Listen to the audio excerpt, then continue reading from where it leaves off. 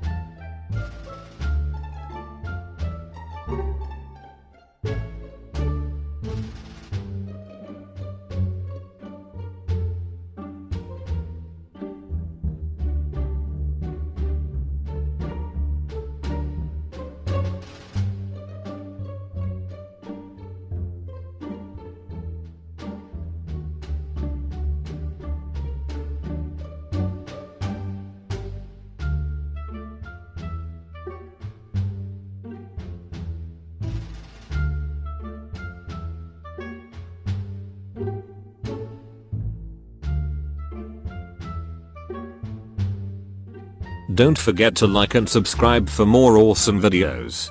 Bye.